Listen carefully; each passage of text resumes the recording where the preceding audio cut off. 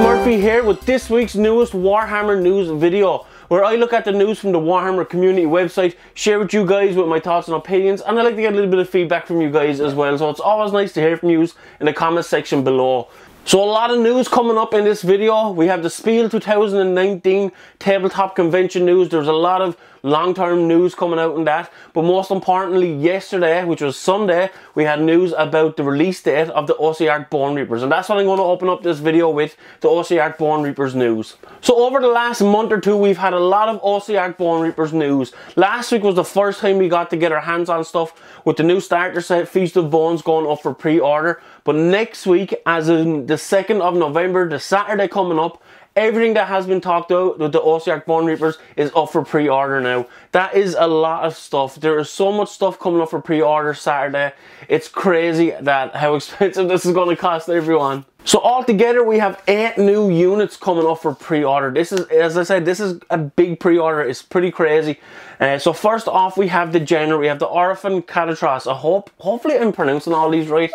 Um, but he is the general of the army. He's the big guy very Aztecian looking. If any of you guys have played any of the last two Mortal Kombat games, there's a very big similarity between him and Kotal Khan. But yeah, the general, he's the big guy, he's the head honcho of the army. Very nice looking model. Can't wait to see what he's going to be like. So secondly, we have the Wizards of the Army, the Mortisans. Now, we've there's three of these. It's broken down into Mortisan Soul Reaper, Mortisan Bone Shaper, and then finally the Mortisan Soul Mason. We've seen Soul Mason, I think, about three weeks ago coming up under pre-orders. So it's great to have like three separate wizards. Now, it doesn't say if these are all like one set and you can make one of them, but uh, I think they're three separate ones for now. Thirdly, we have what is probably my favorite unit of the army. This is the army's dual. This is the first dual kit that's in this list. We have the Liege Kavalos and Arch Kavalos Zandtos.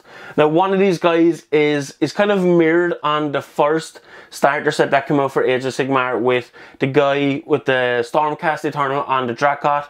uh, kind of rearing up on the back, holding up the arm. So it's, it's mirrored on that. It even mentions it on the website. Very cool looking model. Definitely my favourite of the pre-orders so far. And then we have the backbone of the army, which is the Mortek Guard. Now these are going to be the backbone of the army. You're going to have a lot of these. It does say in the description about them that they are interchangeable. It doesn't say whether you can take out the spears and give them swords, but it says like there's interchangeable shields and heads and stuff like that. So hopefully you can have a look at the sprues on the website, but um, hopefully you might be able to swap out a few spears for swords. That's what I'd really like. I'm not too fond of spears or skeletons. I like the old uh, sword and board combination. And then we have the vanguard of the army, the fast attack. These guys are the Kavalos Death Riders.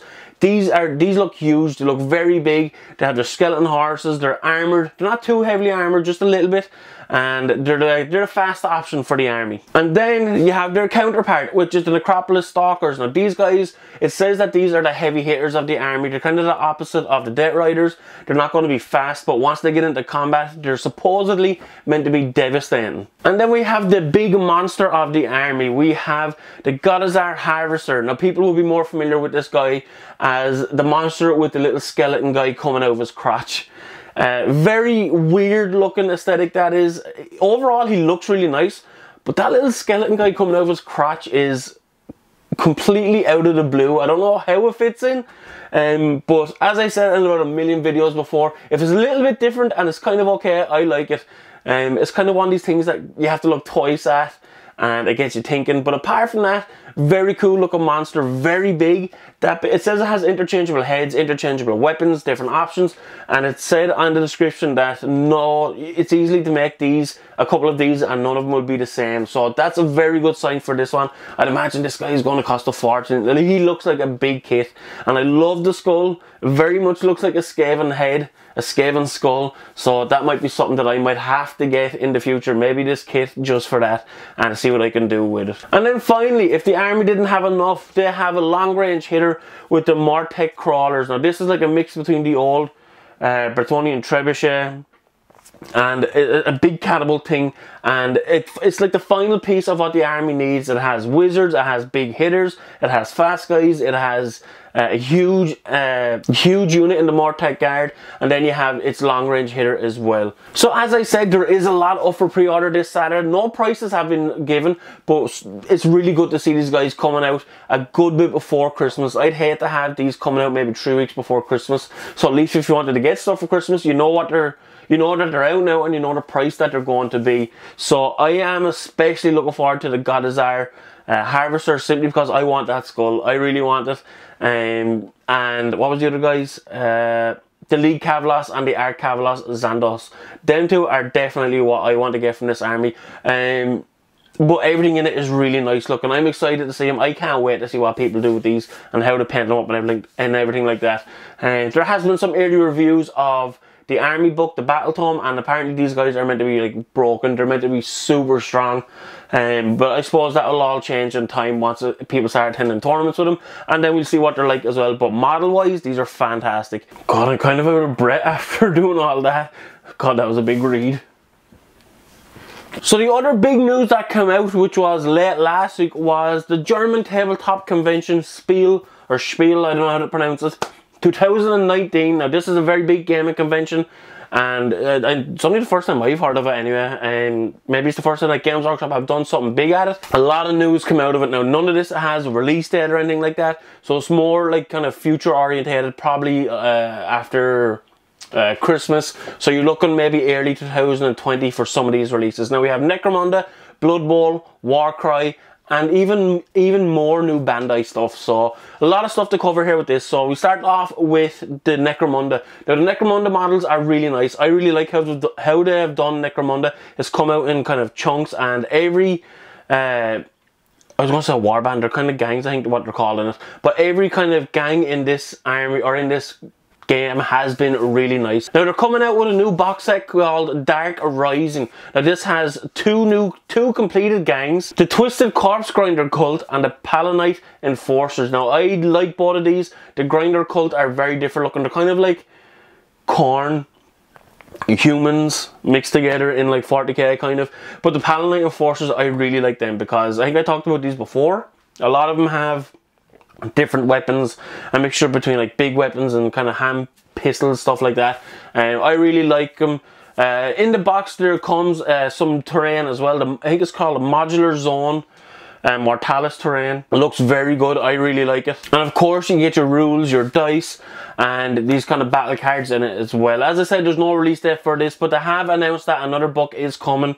Uh, the Book of Ruin is coming out soon, it says, and that's probably going to be well into the next year as well. So moving on to Blood Bowl. So any of you guys that are kind of disappointed with the Feast of Bones, we got no, well, we got one new Ogre model, but that was it. We got a new book, we got a new Battle Tome, and that's kind of it. It kind of seems like the ogres got swept under the rug a bit with the Ossiarch Bonereapers coming out. But good news for Blood Bowl fans anyway. We have a new ogre team. Now we have the Fire Mountain Gutbusters and these look really nice. I love, I fucking love Blood Bowl teams. They are so nice. I wish I was able to get all the things and just build them up and have them. They look fantastic. And these guys look like they fit into an AOS army, no bother. You even get Gnoblars with them, which I love. So the team consists of four Ogres and six Gnoblars. Now you might think that's not a whole lot of Ogres in it. Um, there's too many little guys in it. But one of these Ogres is probably worth like two and a half or maybe two uh, Reikland Reavers models. They're huge. Ogres are massively strong in Blood Bowl and they're going to be the big heavy hitters. They're probably going to be slow, um, but they're fantastic models. They're going to hit strong, and they look like they'd easily fit into an AOS army. I'd probably pick up a box of these, and I'm going to add them into my Ogre army then as well. And of course, for Blood Bowl, we have the new Almanac book, which covers all the new updated rules. It covers the rules from all the Spike updates, that Spike magazine that they had coming out, and um, from issue 7 up to whatever's the up-to-date number, and um, star player profiles, and a very big FAQ it says. So that's Blood Bowl coming out. Warcry. We have a new warband coming out for Warcry, which is the Spire Tyrants. Now, I like these. They're pretty cool, but they are very similar to the Untamed Beast warband. But that's not the only thing I kind of spotted with these. They have two unique models. One is a, I think it's pronounced Bestigor. I would have said Beastigor, but it looks like it's spelled uh, or pronounced Bestigor. And the other one is a Dwarden guy. Now this guy looks like Cousin Itt from the Addams family. His hair, his whole face and most of his body is covered in his hair or his beard and the helmet covers his eyes and everything. This has instantly become one of my favourite models I've ever seen. I am going to get this warband just for that little guy. Or if I can pick up that little guy by himself, I'm going to take it. I absolutely love this little guy. And then the final thing, as I said before, more news from Bandai. Bandai Chibi, I think it's pronounced. Uh, these are little small uh, miniature fun looking little fluffy models and but they're announcing that there's five of them coming out. We have the Primaris Intercessor, uh, Grey Knights, Sister of Battles, Skitarii Rangers, and the Assassin model. These are okay. These are something that I, I that you could see getting sold in GameStop. Um, if they're not too dear, you probably pick up one or two and like just have them on your shelf or put them on your desk. They look pretty cool.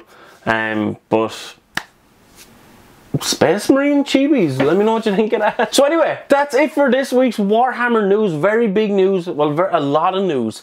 Um, but we finally have a release date for the Ossiarch Bonereapers coming out this Saturday, the 2nd November. I'm pretty sure it's 2nd November when I checked the calendar a while ago.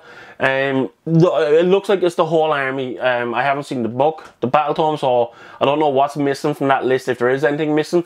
But even if that isn't the whole army, it's still impressive. Eight big bloody units um, and one dual kit. Two dual kits. I think the other guys can be, they're not dual kits, but I think they're being rearranged a good bit.